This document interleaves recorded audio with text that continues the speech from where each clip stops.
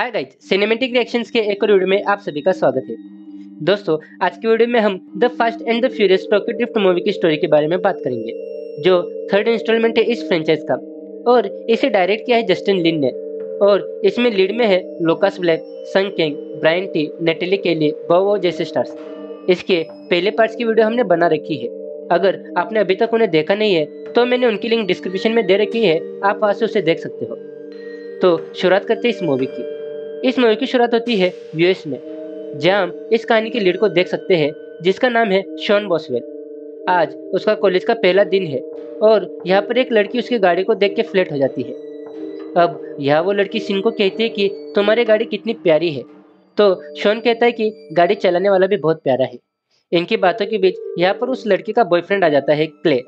अब वो वहाँ उसे कहता है कि तुम मेरी बंदी से बात कर रहा है। चुपचाप अपने खटारा यहाँ से लेके निकल जा, वरना अगर मेरी सटक गई तो मैं तुझे छोड़ूँगा नहीं। यहाँ शोन कहता है, अगर लड़ने का इतना ही शौक है तो गाड़ी से क्यों नहीं लड़ता? अब यह इन दोनों के बीच एक मज़ेदार रेस होती है। पूरे कॉलेज में एक्साइटमेंट बढ़ जाती है, सभी लोग चिल्लाने लगते हैं, और इसी दौरान इनके बीच में एक तगड़ी रेस होती है। अब वो लड़की क्ले के साथ होती है, क्योंकि वो लड़की उसकी गर्लफ्रेंड थी। अब शोन को गाड़ी भगाना काफ़ी पसंद था, और उन्हें रिपेयर भी करना। इसलिए शोन अपनी खटारा गाड़ी से क्ले की गाड़ी को बराबर की टक्कर देता है। लेकिन यहाँ पर हम नोटिस कर सकते हैं कि शोन को अपनी गाड़ी को ड्रिफ्ट करने नहीं आ रहा है। इसलिए वो अपने गाड़ी से कई बार रास्ते की चीज़ों से टकरा रहा है। इस रेस को जीतने के लिए शोन एक शॉर्टकट रास्ता चुनता है। लेकिन उस रास्ते में एक घर था, इसलिए वो उस घर में से अपनी गाड़ी निकालता है और जितने वाला होता है, तभी वो अपने कंट्रोल खो बैठता है और इसी दौरान दोनों की गाड़ी का एक एक्सीडेंट हो जाता है और इसमें दोनों की गाड़ियाँ टूट जाती है। अब यह बात जैसे इनके कॉलेज में पता चलती है तो इन पर लीगल एक्शन लिया जाता है। यहाँ पर इनका चेहरा देखने लायक था, खास करके शोन का, जिसके नाक और दांत दोनों टूटे हुए लग रहे थे। अब शोन को प्रिंसिपल के ऑफ़िस में बुलाया जाता है। यहाँ पर एक पुलिस ऑफिसर भी है। वो ऑफिसर शोन को कहता है, तुमने एक गाड़ी का एक्सीडेंट किया है, और वो लोग तो अमीर है, कैसे भी करके बच जाएँगे। तो सुलह पे तो किसी न किसी को तो चढ़ना ही होगा। तो क्यों ना तुम्हें चढ़ाया जाए? अब यहाँ पर शोन की मोम आ जाती है। शोन की मोम पुलिस ऑफिसर से कहती है कि हम इस शहर में नए हैं और हम यहाँ पर किसी को भी नहीं जानते। लेकिन जब भी हर्जाना होगा, हम उसे भरने के लिए तैयार हैं। अब ये सुन के वो ऑफिसर शोन को छोड़ देता है। अब बाहर आते ही शोन की मम शोन से कहती है कि अब तुम यहाँ पर नहीं रहोगे। मैं तुम्हें तुम्हारे पापा के पास भेज दूँगी। अब अगले सीन में हम देखते हैं कि शोन टोक्यो के लिए निकल पड़ा है। अब हमें यह एक खूबसूरत नज़ारा दिखाया जाता है टोक्यो का। अब शोन पहुँच जाता है अपने पापा के घर पे। शोन को देखकर उसके पापा खुश नहीं लग रहे थे। वो उसे कहते कि, मुझे लगा कि तुम कल आने वाले हो। खैर, अमेरिका और जापान के टाइम में फ़र्क है, इसीलिए मुझे पता नहीं चला। तभी शोन कहता है, इट्स ओके, गलतियाँ तो सबसे होती ही रहती है। अब इनकी बातचीत से हमें पता चलता है कि शोन के पापा आर्मी में थे। अब अगले सुबह हम देखते हैं कि शोन के पिता ने शोन का उधर के ही एक बड़े से कॉलेज में उसका एडमिशन करवा दिया था। अब स्कूल की ड्रेस पहनकर शोन सीधा पहुँच जाता है टोक्यो शहर की सैर करने। वो घूमता फिरता फाइनली अपने कॉलेज में पहुँच जाता है। अब उसे अपना क्लास ढूँढने में थोड़ा टाइम लगता है, लेकिन आखिर में वो वहाँ पर पहुँच जाता है। उसकी टीचर उस पर जापानी में चिल्ला रही होती है। उसे पता नहीं चलता आखिर ये क्या बोल रही है। अब यहाँ पर एक लड़की भी होती है, जिसका नाम है नीला। वैसे तो वो जापानी नहीं है, फिर भी उसे जापानी समझ में आती है। अब वो उसे कहती है कि वो तुम्हें शूज़ निकालने को कह रही है। वाकोबी यानी शूज़ जापान में क्लास में स्कूल के शूज़ पहने जाते हैं। रेगुलर शूज़ नहीं। अब क्लास खत्म होते ही टाइम आता है लंच ब्रेक का, जहाँ सारे बच्चे अपना खाना खा रहे होते हैं। अब यहाँ पर शोन की मुलाकात होती है ट्विंकी से। अब ट्विंकी यहाँ पर आके उसे कहता है कि, तुम भी एक आर्मी ऑफिसर के बेटे हो और मैं भी। तुम मुझसे जो भी चाहो मांग सकते हो। मेरे पास इलेक्ट्रिकल से लेके खाने पीने की सारी चीज़ें हैं। जो भी चाहिए बस मुझसे मांग लेना। शोन कहता है, मेरे पास पैसे नहीं है कि मैं तुमसे कुछ खरीद सकूँ। और प्लीज़ मुझे थोड़ा अकेला छोड़ दो। अब ट्विंकी अपने बैग से एक स्टेयरिंग निकलता है। उसे देख के शोन कहता है कि, क्या तुम मुझे ये दोगे? तो ट्विंकी कहता है, ये मैं तुम्हें नहीं दे सकता, क्योंकि ये मेरी फेवरेट कार का स्टेयरिंग है। शोन कहता है कि, क्या तुम मुझे अपनी कार दिखाओगे? अब स्कूल खत्म होते ही ट्विंकी शोन को अपनी कार दिखाता है। अब कई सारी गाड़ियाँ पार्किंग में लगी थी और उनमें से ग्रीन कार निकल कर आती है। जिस पर हल्क का मुक्का बना हुआ है। ये गाड़ी ट्विंकी की है। अब ट्विंकी उसे कहता है कि इस गाड़ी पर मैंने काफ़ी मेहनत की है। इसमें इतनी तेज़ी है कि अगर तुम रेस करोगे तो जीत जाओगे। अब इसी के साथ शॉन और ट्विंकी पहुँच जाते हैं टोक्यो की एक रेसिंग बैटल में। अब यहाँ पर शॉन की मुलाकात होती है नीला से। शॉन नीला से बात करता है, तभी यहाँ पर नीला का बॉयफ्रेंड डीके आ जाता है। डीके का मतलब ड्रिफ्ट किंग और उसका रियल नेम है तकेशी। अब यहाँ पर दोनों के बीच बातों की थोड़ी गर्मा गर्मी हो जाती है, और डीके शोन को गाइजिन कहता है। इसका मतलब शोन को पता नहीं होता, इसलिए वो उसे कहता है कि, जापानी में क्या बात कर रहे हो? हिम्मत है तो इंग्लिश में बात करो। शोन कहता है कि, हिम्मत है तो मुझसे रेस लगाओ। अब इनकी बातें हान भी सुन रहा था, जो डीके का बिज़नेस पार्टनर है। अब यहाँ शोन के पास रेसिंग करने के लिए गाड़ी नहीं होती है, तभी हान उसे अपनी कार देता है। अब यहाँ पर टिंकी कहता है कि यह हान की फेवरेट गाड़ी है। और ये हवा से बात करती है। अब इसी के साथ ही इन दोनों के बीच चालू हो जाती है एक शानदार रेस। अब जैसा मूवी का नाम है टोक्यो ड्रिफ्ट तो इसका मतलब जब तक मूवी में ड्रिफ्ट नहीं होगी, ये इस मूवी को जस्टिफाई नहीं कर पाएगी। अब डिकी यानी कि ड्रिफ्ट किंग अपनी ड्रिफ्ट की सारी कलाएँ दिखाता हुआ बिल्डिंग के बेसमेंट से सीधा टॉप पर जाने की कोशिश करता है। अब जैसे इस मूवी की शुरुआत में दिखाया था सेम वैसा शॉन के साथ इधर भी होता है और उसे यहाँ पर भी ड्रिफ्ट करना नहीं आता। और वो हान की पूरी गाड़ी की वाट लगा देता है।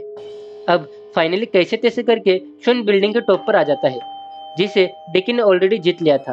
अब यहाँ नीला डिकी से प्यार तो नहीं करती, लेकिन उसके कर्जों तले दबे होने की वजह से वो उसके साथ वहाँ से चली जाती है। अब हान की गाड़ी पूरी टूट चुकी थी, इसलिए हान शॉन को कहता है कि शहर छोड़ के मत जाना। अब घर जाने में देरी हो जाने की वजह से शॉन के पिता उस पर बहुत चिल्लाते हैं। अब वो उसे पूछते हैं कि आखिर तुम कहाँ गए थे? तो शॉन कहता है कि मेरी एक्स्ट्रा क्लासेस थी, इसी वजह से देर हो गई। कल से मैं लेट नहीं आऊँगा। अब अगले दिन स्कूल खत्म हो जाने के बाद हान उसका बाहर इंतज़ार करता है। तभी शोन कहता है, तुम टेंशन मत लो, मैं तुम्हारे सारे पैसे लौटा दूँगा, मगर अभी मेरे पास पैसे नहीं है। तो हान उसे कहता है कि मैं तुमसे पैसे नहीं मांग रहा हूँ, मुझे तो बस तुम्हारा थोड़ा सा टाइम चाहिए। मैं चाहता हूँ कि तुम मेरे लिए काम करो। अब हान एक आदमी से पैसे मंगवाने के लिए शोन को बाथ टब में भेज देता है। अब वहाँ पर बहुत सारे लोग नहा रहे थे। यहाँ शन एक मोटे आदमी से पैसे माँगता है तो वो आदमी उसे सीधा बाहर फेंक देता है। फिर भी शन हार नहीं मानता और आखिर में उस आदमी से पैसे लेके आ जाता है और लाकर सीधा हान को पकड़ा देता है। अब यह हान को लगता है कि यही वो आदमी है जो मेरा काम कर सकता है। अब ऐसे करते करते बहुत दिन बीत जाते हैं और इसी बीच हान शोन से एक और बात कहता है, अगर टोक्यो में कोई भी गाड़ी 120 की रफ्तार से तेज चला रहा है तो पुलिस उसे कुछ नहीं करती, क्योंकि पुलिस जानती है कि इसका पीछा करने से हमें कुछ नहीं मिलने वाला और ये पकड़ में आने वाला भी नहीं है। इसीलिए अगर तुम 120 से भी ज़्यादा तेज भगा रहे हो तो कोई तुम्हारा पीछा करने वाला नहीं है और तुम अपनी मंजिल तक जल्दी पहुँच पाओगे। अब यही से ये दोनों पहुँचते हैं एक शानदार पार्टी में, जहाँ बहुत सी लड़कियाँ हैं। अब यहाँ पर शोन को ट्विंकी भी मिलता है। अब यहाँ पर से ये दोनों एक जगह पर पहुँचते हैं, जहाँ बहुत बड़ा गैरेज है, जो कि पूरा का पूरा हान का गैरेज है। अब यहाँ पर एक लाल गाड़ी है। उसे देख के शोन कहता है वाह क्या मस्त गाड़ी है। तो हान कहता है कि यह गाड़ी तुम्हारे लिए है। अब यह हान कहता है कि, अगर तुम्हें मेरे लिए काम करना है तो तुम्हारे पास एक गाड़ी होनी चाहिए। अब इसी के साथ अगले दिन से शोन की ड्रिफ्टिंग प्रैक्टिस शुरू हो जाती है। अब एक एक करके शोन ड्रिफ्टिंग की प्रैक्टिस करता है। वो कई बार दीवारों से टकरा भी जाता है, कई डेंट भी लगवा देता है, लेकिन थोड़ा थोड़ा करके वो प्रो प्लेयर बनने लगता है। एक दिन जब वो घर लौटता है तो अपने पिता को उनके कार रिपेयरिंग करते हुए देखता है। तो वो उनसे पूछता है कि, क्या आपने कभी इस कार का ड्राइव किया है? तो उसके पिता कहते हैं, नहीं, कभी मौका नहीं मिला। लेकिन अगर कभी मौका मिला तो इसे ज़रूर ड्राइव करूँगा। लेकिन अभी इसके इंजन पर मुझे काफ़ी ज़्यादा काम करना है। ये काफ़ी पुराना हो गया है और मेरे पास नए लेने के लिए पैसे नहीं है। अब अगले दिन जब शोन स्कूल पहुँचता है तो उसे पता चलता है कि उसके दोस्त ट्विंकी को कोई मार रहा है। वो भागते हुए वहाँ पर जाता है। अब यह उसे पता चलता है कि ट्विंकी की पिटाई डीके का फ्रेंड कर रहा है। अब लड़ाई रोकने के लिए शोन पहुँच जाता है और वो उसे पूछता है कि, आखिर तुम इसे क्यों मार रहे हो? अगर तुम्हें कुछ कहना है तो मुझसे आके बात करो। अब वो कहता है कि, इसने मुझे खराब एयरपोर्ट दिया है। तो शोन यहाँ पर उसे अपना एयरपोर्ट दे देता है। उसे ऐसा करते हुए नीला देख लेती है और उसे कहती है कि, इन आदमियों के मुँह मत लगो ये अंडरवर्ल्ड माफिया से जुड़े हुए हैं। और अपनी भलाई चाहते हो तो इनसे दूर रहो। अब शाम को शॉन मिलता है हन से और उसे कहता है कि तुम तो काफ़ी अच्छी तरह से ड्रिफ्ट को जानते हो। तुमने कभी डिक्के के साथ रेस क्यों नहीं की? हान उसे कहता है कि गाड़ी चलाना मेरा शौक है, मैं इसे मेरे फ़ायदे के लिए इस्तेमाल नहीं करता। अगर तुम मुझे रेस करते हुए देखना चाहते हो तो वेट एंड वॉच अब रास्ते में कुछ लड़कियाँ गाड़ी चला रही है। यह हान शॉन को अपनी ड्रिफ्टिंग स्किल दिखाता है। अब ये देखकर वो दोनों लड़कियाँ हान से इम्प्रेस हो जाती है और उसे अपना नंबर भी दे देती है। अब ये देखकर शोन चाहता है कि वो भी हान की तरह ड्रिफ्टिंग करे। अब इसके लिए वो पहाड़ों में बिल्डिंग के बेसमेंट में हर जगह इसकी प्रैक्टिस करता है। अब अपनी स्किल को किस तरह से एनहांस कर सकते हैं, वो इस पर पूरा फोकस करता है। ये सारी चीज़ें नीला भी देख रही थी। अब नीला चाहती थी कि वो ड्रिफ्टिंग की असली डेप्थ को जाने। इसलिए वो शोन को लेकर पहुँच जाती है टोक्यो के पहाड़ों पर। वो कहती है कि ये ऐसी पहाड़ी है जहाँ पर सभी ने अपनी लाइफ की पहली ड्रिफ्टिंग की है। मैं छोटी थी तभी यहाँ पर कई बार आया करती थी और मैंने भी अपनी ड्रिफ्टिंग यहाँ से ही सीखी है। मैं चाहती हूँ कि तुम यहाँ पर प्रैक्टिस करो ताकि तुम्हारी स्किल्स और भी ज़्यादा अच्छी हो सके। और यहाँ पर नीला उसे वो डिक्के से कैसे मिली ये भी बताती है। अब अगले दिन सुबह सुबह शोन प्रैक्टिस कर रहा होता है। वहाँ पर गैरेज में पहुँच जाता है डिक्के और वो वहाँ पर शोन को आते ही मारने लगता है। शोन के मुँह से खून बहने लगता है। हान, डीके से कहता है कि, आखिर तुम यहाँ पर क्यों आए हो? डिके शोन से कहता है कि, मेरे गर्लफ्रेंड से दूर रहना। और फिर से उसके करीब आए तो मैं तुम्हें ज़िंदा नहीं छोड़ूँगा। जैसे ये बात नीला को पता चलती है, वो पहुँच जाती है डीके से लड़ने। वो कहती है कि, मैं जानती हूँ कि मेरे कुछ कर्ज है जिसे मैं भर नहीं सकती। लेकिन इसका मतलब ये नहीं कि मैं जिससे भी बात करूँ, तुम उसे मारने लगो। ये तुमने सही नहीं किया। और ये बात मुझे पसंद नहीं आई। डीके उसे कहता है कि तुम्हारी माँ एक प्रोस्टिट्यूट थी और वो अमेरिका से यहाँ जापान में आई थी। हमारी फैमिली ने उन्हें सहारा दिया। तो तुम मेरी गुलाम हो और हमेशा मेरी गुलाम ही रहोगी। इन दोनों की बात चल ही रही होती है, तभी यहाँ पर डीके के अंकल कमाटा आ जाते हैं, जिनके नाम से ही डीके सब पे हुक्म चलाता है। अब यह हमें पता चलता है कि कमाटा इस शहर का सबसे बड़ा माफिया है। डीके उन्हें देखकर सलाम करता है, साथ ही पैसे भी देता है। और कहता है कि इस महीने में बस इतनी ही कमाई हुई है। मगर टेंशन मत लो, अगले महीने इससे भी ज़्यादा कमाई होगी। अब इन दोनों की बातचीत के दौरान नीला वहाँ से चली जाती है और सीधा पहुँच जाती है शोन के पास में। अब डेकी इस बात को जानता था, इसलिए वो अपने गाड़ियों को लेकर सीधा शोन के अड्डे पर पहुँच जाता है और यहाँ पर लड़ाई झगड़ा करने लगता है। इसी बीच नीला जाती है और हान, शोन और नीला मौका पाते ही वहाँ से भागने लगते हैं। और फिर हमें दिखाई जाती है इस मूवी की सबसे बेस्ट कार चेजिंग जिसमें शोन को रोकने के लिए उसके पीछे डीके पड़ा है और डिको को रोकने के लिए उसके पीछे हान यहाँ पर तीनों जने अपनी गाड़ियों को टोक्यो की सड़कों पर भगा रहे थे। अब इस चेज में हान का एक बहुत बड़ा एक्सीडेंट होता है और हान मारा जाता है।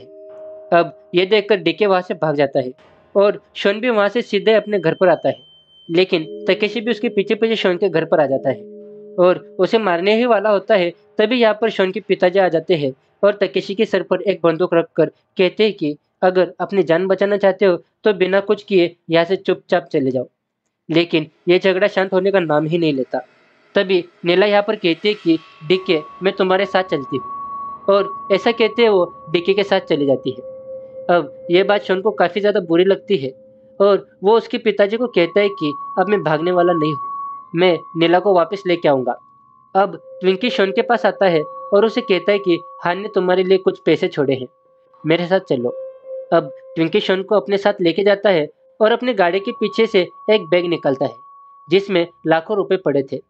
वो कहता है हान ने ये सिर्फ़ तुम्हारे लिए रखे हैं। तुम इसका इस्तेमाल सही तरीके से कर सकते हो। अब उन सारे पैसों को लेके शोन पहुँच जाता है डीके के अंकल कमाटा के पास। वहाँ पर काफ़ी सारी सिक्योरिटी थी। अब वो सारे पैसे शोन कमाटा को दे देता है। और कहता है, मैं शहर में रहना चाहता हूँ और साथ ही आपके भतीजे से रेस लगाना चाहता हूँ। इस रेस से यह पता चल जाएगा कि हम दोनों में से कौन सबसे ज़्यादा काबिल है। और अगर ये रेस डिके जीता तो मैं शहर छोड़ के चला जाऊँगा। और अगर मैं जीता तो नीला को मैं लेके जाऊँगा। डीके भी यहाँ पर मौजूद था। वो कमाता को कहता है कि ये फालतू लड़का है, इसकी बातों पर ध्यान मत दो। इसे यहाँ से बाहर फेंक दो। मगर तभी यहाँ पर उसके अंकल कहते हैं कि इसने अभी अभी मुझे एक पैसों का भरा हुआ बैग दिया है। तुमने नहीं। और तुम तो एक कमाल के रेसर हो तो डर क्यों रहे हो? चलो, हो जाए एक रेस। कमाटा इस रेस के लिए मान जाता है। अब शोन जैसे ही गराज पर आता है तो उसे पता चलता है कि हान की सारी गाड़ियाँ तो किसी ने तोड़ दी है, और अब उनके पास एक भी गाड़ी नहीं है। तभी यहाँ पर ट्विंकी भी आ जाता है, और शोन को कहता है कि, तुम्हें पता है, तुमने एक बार हान की गाड़ी का हाल बेहाल किया था। वो हान की फेवरेट गाड़ी थी। उसका इंजन अभी भी सही सलामत है। क्यों ना हम उसका यूज़ करें? अब शोन और उसके सारे दोस्त मिलकर उस गाड़ी का इंजन निकाल के अपने पिताजी के गाड़ी में फिट कर देते हैं। अब इसी के साथ शोन के पास एक नई कार रेडी हो जाती है। और वो उस गाड़ी के साथ काफ़ी ज़्यादा प्रैक्टिस करने लगता है। अपनी ड्रिफ्टिंग को टॉप लेवल तक पहुँचाने के लिए वो पहाड़ों का सहारा लेता है। और वहाँ पर वो कई बार ड्रिफ्ट करता है। अब आखिरकार वो दिन आ जाता है जिस दिन डिक्की और शोन का तगड़ा मुकाबला होने वाला होता है, यहाँ पर शोन के सारे दोस्त और डिक्के के अंकल कमाटा भी मौजूद होते हैं। अब यहाँ पर इन दोनों के बीच एक शानदार रेसिंग चालू हो जाती है। अब इसी के साथ ये दोनों अपनी गाड़ियों को तेज भगाकर उस पहाड़ से नीचे उतरने की कोशिश कर रहे होते हैं। अब जो भी सबसे पहले नीचे उतरेगा, इनाम उसका होगा। अब यहाँ पर डिक्के अपने नाम को बरकरार रखने के लिए काफ़ी ज़्यादा ड्रिफ्टिंग कर रहा होता है। और अगर वो ये रेस जीत गया तो उसे शोन को टोक्यो शहर से बाहर निकलने का मौका मिलेगा। और यह शोन ये चाहता था कि अगर वो रेस जीत गया तो डीके की इज़्ज़त तो नीलाम होगी ही, ऊपर से नीला उसकी हो जाएगी। वो नीला को डीके के चंगुल से छुड़ा लेगा। यहाँ पर कई बार ऐसा मोमेंट आता है कि दोनों में से एक इस फाट से नीचे गिर जाएगा। लेकिन दोनों काफ़ी माहिर थे और दोनों ही काफ़ी कोशिश कर रहे थे नीचे उतरने की। लेकिन इधर डिक्की अपना बैलेंस खो देता है और पहाड़ से नीचे गिर जाता है। अब इसका फ़ायदा उठा के शोन ये रेस जीत जाता है। अब जैसा इस रेस का रूल था, जो भी इस रेस को जीतेगा, उसे उसकी इच्छा के हिसाब से जो चाहिए वो मिलेगा। अब जैसा उसे नीला चाहिए थी, वो उसे मिल जाती है। और कमाटा भी उसे कहता है कि अब तुम आज़ाद हो। यहीं पर इस मूवी के एंडिंग में हमें एक रेसिंग बैटल दिखाया जाता है। अब यहाँ पर टीम की भागा भाग आता है और शोन को कहता है कि कोई एक रेसर है जो तुम्हें टक्कर देना चाहता है। शोन कहता है, मेरा कोई मूड नहीं है। और वैसे भी मैं ड्रिफ्ट किंग हूँ। मुझसे कौन टकराएगा? तो ट्विंकी कहता है, वो हान को जानता है। ये सुनने के बाद शोन उससे मिलने चला जाता है। अब शोन डोम के साथ रेस करने के लिए मान जाता है और इसी के साथ ये मूवी यहाँ पर ख़त्म हो जाती है। तो दोस्तों, ये मूवी सीधा कनेक्शन है the fast and the furious के सिक्स पार्ट का। इसलिए कंफ्यूज मत होना कि अगले पार्ट में हान कैसे बच गया। तो दोस्तों, ये थी the fast and the furious Tokyo drift movie hope कि आपको हमारी वीडियो और ये मूवी पसंद आई हो। मिलते हैं आप सभी से आपके अपने चैनल पर किसी और वीडियो में टिल देन टेक केयर!